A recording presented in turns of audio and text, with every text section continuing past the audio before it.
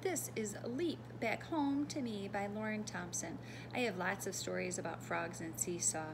Tad and Dad is also in the YouTube channel, and then there's some nonfiction stories about some animals that hibernate. This isn't a story about hibernation, though. This was written by Laura Thompson, and she's written some other books that we have enjoyed recently. So the illustrations might look really similar too. Leapfrog over the ladybug, leapfrog over the bee. Frog's off. What do you think might happen next? The leapfrog went over the tickly clover. Plip. And then leap back home to me. Leapfrog over the daisies. Leapfrog over the creek. Leapfrog over the splashing beavers. Spring. And then back home to me.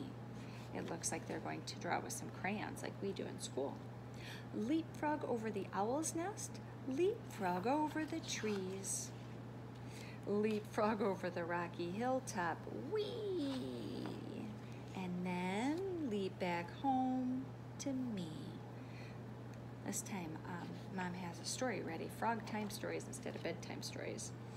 Leapfrog over the mountains, a leapfrog over the sea, leapfrog over the roaming clouds, whoosh. I love how the author illustrates those big words. And then leapfrog back to me. They're having dinner and a salad or something it looks like. Leapfrog over the sun. Leapfrog as high as you please leapfrog out into the farthest stars. Zoom.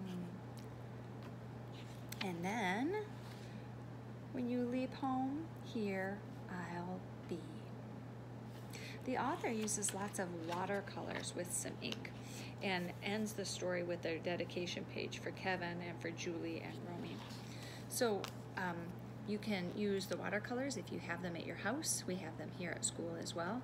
And in Seesaw, you'll find more activities about frogs. And there's a song called My Bonnie. My Bonnie Lies Over the Ocean that follows this storyline real well um, that you can learn if you're interested. See you soon.